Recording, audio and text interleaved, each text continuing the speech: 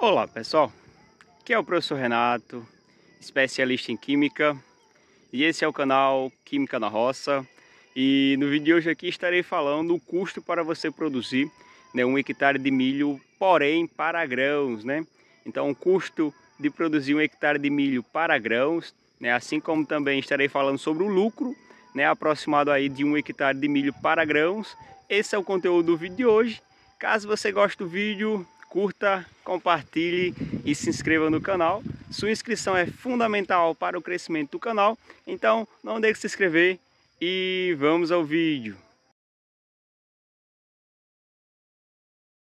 Então pessoal, antes de começar o vídeo, né, recentemente agora ativei aí o clube de membros aí do canal, então quem quiser ajudar o canal, ser membro do canal, vai ter é, vários benefícios aí, né, onde estão descritos aí no botãozinho aí de seja membro. Então quem quiser ajudar o canal, é só apertar aí no seja membro, escolher aí, né, é, o melhor nível em si para si. É, um dos exemplos aqui é o grupo do WhatsApp aí, né, do nível 2 e 3, né, para você discutir aí com os membros em si, né, assim como comigo também, né, sobre as plantações, observações. E o nível 3, deixando aí como questão também, né, que você aí teria uma hora de consultoria por mês sobre aquilo que você quer produzir. Então, caso você tenha interesse em ajudar o canal, é só acessar aí né, o botão Seja Membro e conferir aí né, os benefícios aí é, nesse caso.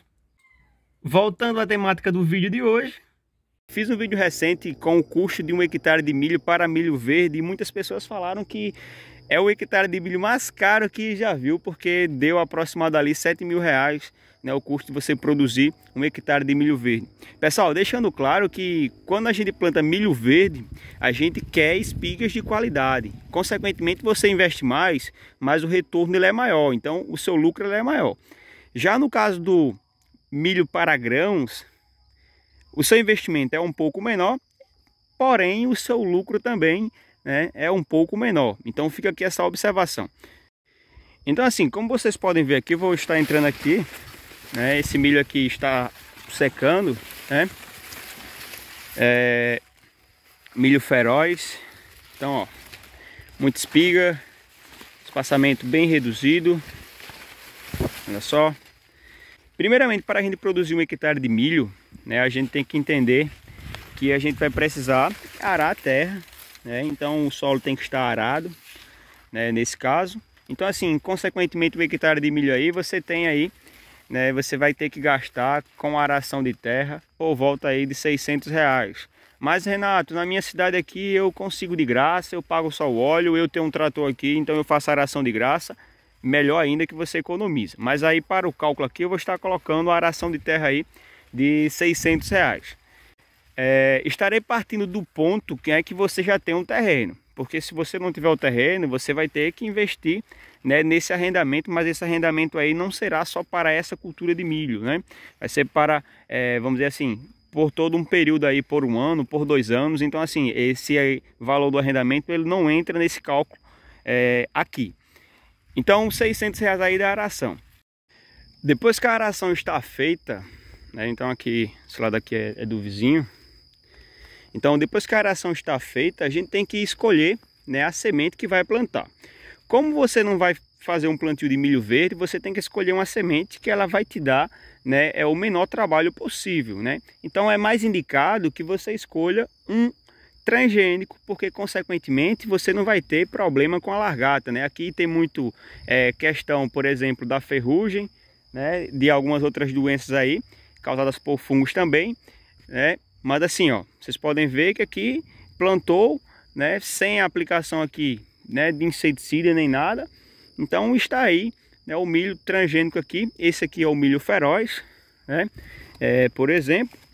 Então, a gente tem que escolher bem a questão da semente. Eu vou colocar aqui como padrão o milho feroz, porém você pode escolher qualquer milho aí transgênico, né, propício aí para a questão de grãos, né? Temos vários milhos aí excelentes aí. Eu vou utilizar aqui o feroz como exemplo. Então, o feroz aqui é comum a gente comprar a 30 reais o quilo. Então, um hectare de milho você vai gastar para milho, né? vender o milho seco para grãos, você vai gastar aí em torno, por exemplo, de 15 quilos de milho ali aproximadamente, né? Porque aí você vai plantar mais planta durante esse um hectare. Então, no mínimo aí você vai ter que comprar, no mínimo, né? Você vai ter que comprar aí 15 quilos de milho, no mínimo. Dependendo do espaçamento, quanto mais reduzido você fizer, mais semente vai pegar. Então, você tem 15 vezes 30, né? Você vai ter aí 450 reais da semente de milho. Então, com relação à adubação, como é completamente diferente de uma adubação para milho verde, que você investe mais, né? Aqui, nesse um hectare aqui, eu vou estar colocando aqui, né, o que foi utilizado, apenas uma única adubação, né, nesse milho. Então, aproximadamente aí 6 gramas, né, por torceira aqui, é, que temos aqui. Então aqui deu aproximadamente 400 quilos de adubo, né, que foi é, aplicado aqui nesse 1 hectare. Então foi comprado aqui 8 sacos de adubo. Esse 8 sacos de adubo, pessoal, a 140 reais vai dar 1.120 reais. Então assim, pessoal, 1.120 reais aí, né, os 8 sacos de adubo. Então 400 quilos de adubo aí, do NPK. É, 15, 15, 18 foi aplicado aqui, nesse 1 hectare. É, para muitos pode achar até muito, né? Para outros pode achar pouco. Como eu sempre coloco, depende muito da sua região, né? Esse é o preço que está aqui atualmente esse tipo de NPK. Na sua região pode estar um pouquinho mais caro ou um pouquinho mais barato também. Então fica aí sempre essa observação. Então assim, pessoal, depois dessa questão da adubação, né, também a gente tem aí né, outra questão que é muito importante. Quando você escolher a semente do milho, você tem que escolher uma semente que ela vai te dar menos trabalho possível, né? Então assim, que ela seja resistente, né? Tanto a questão da boa parte das pragas, então tem uma maior resistência, mas também, né, você consiga fazer a aplicação de herbicida, porque aí você diminui o seu trabalho com mão de obra. Então, esse aqui, como é o milho feroz, é, consequentemente ele é resistente ao glifosato, é, e consequentemente também ao Roundup, né, que é praticamente aí a mesma coisa. Então, é, se ele é resistente ao Roundup ou glifosato, você pode escolher qualquer um desses herbicidas para estar fazendo a aplicação. Um hectare você vai gastar aí aproximadamente um litro de né, herbicida. É, então dependendo da dosagem que você vai utilizar. Então esse um litro né, aí vai dar por volta aí de 150 reais. Né? Então vou colocar aqui o preço de 150. Vi que na internet às vezes tem um pouquinho mais barato dependendo do comercial ou de onde você comprar, você pode comprar um pouquinho mais barato ou um pouquinho mais caro também, dependendo do, do lugar que você mora, da região né, que você mora. Então, mais 150 reais aí também né, do herbicida. Então, ó, é como vocês podem ver, ó, né, o milho já está secando, né? Olha só como é que está dentro da lavoura. Praticamente mato muito pouco.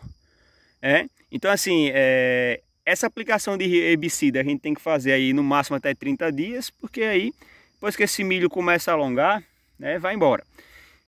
Outra coisa muito importante, pessoal, é os trabalhos em si, né? E quando eu coloco trabalho, é porque assim, é, você tem toda essa questão de fazer o plantio, né? Você tem toda a questão, por exemplo, né, de fazer a aplicação do herbicida. Se você não faz, você tem que pagar alguém. Né? Normalmente o pessoal cobra caro. Aqui o pessoal, por exemplo, eles cobram por bomba. Né? É, então assim, é, e depende muito da região.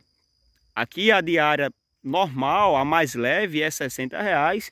De veneno é por bomba. Se for muito pesado é de 90 a 100 reais. Então varia aí o preço. Então eu vou colocar aí de trabalho com relação a plantio, né? essa questão da aplicação do herbicida e até a questão da colheita, né? Que aí é, a máquina faz isso, ou o trator mesmo, é, você vai gastar aí mais 700 reais aproximado aí. Né? Então você tem mais 700 reais aí dos trabalhos em si, no geral, até você conseguir colher né, esse milho. Então pessoal, de cara aí a gente já tem o que? Né? A gente já tem aí 600 da aração, a gente já tem aí 450 aí, é o mínimo com relação à semente, né?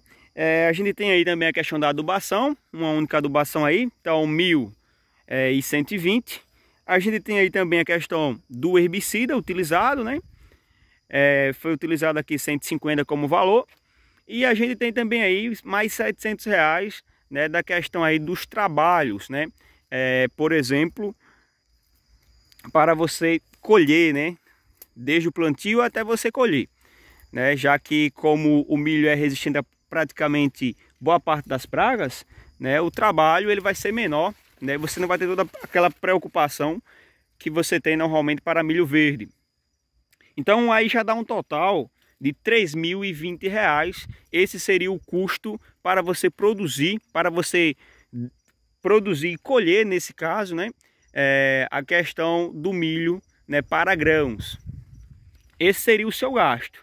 Então, praticamente, a gente tem aí um gasto que ele cai por a metade. Enquanto o milho verde ali é aproximadamente 7 mil, você tem no milho para grãos aí, né, por exemplo, um gasto aí aproximado de R$ 3.020 é, para você produzir um hectare aí de milho né, para grãos.